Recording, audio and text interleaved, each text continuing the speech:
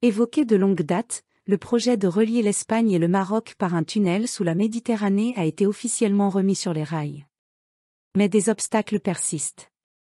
Dans les limbes depuis des années, le projet de tunnel entre l'Espagne et le Maroc vient d'être officiellement relancé par Madrid et Rabat.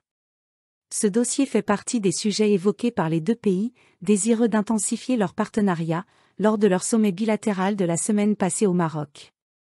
Lancé en 1979 par le roi du Maroc Hassan II et son homologue espagnol Juan Carlos Ier, ce projet de tunnel sous la Méditerranée vise à relier l'Afrique et l'Europe par le train, en passant sous le détroit de Gibraltar.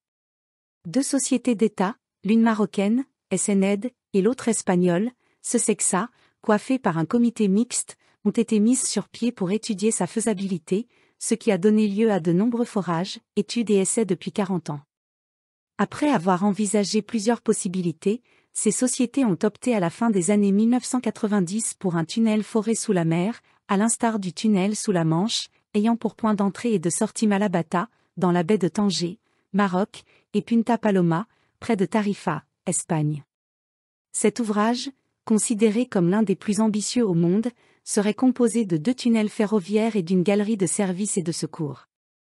Il aurait une longueur de 38,5 km, dont 28 sous la mer, et une profondeur maximum de 475 mètres. En reliant les réseaux ferroviaires des deux pays, il fonctionnerait comme un catalyseur pour l'économie européenne et africaine, assure à l'AFP Claudio Olala, ingénieur et professeur émérite à l'Université Polytechnique de Madrid, qui a un temps travaillé sur ce projet.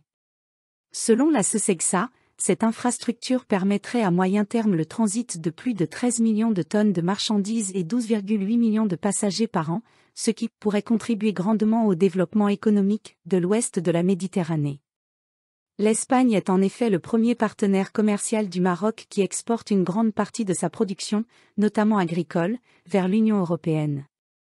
Mais le détroit de Gibraltar, où passent 100 000 navires par an, est déjà engorgé, ce qui limite le transport de marchandises entre les deux pays.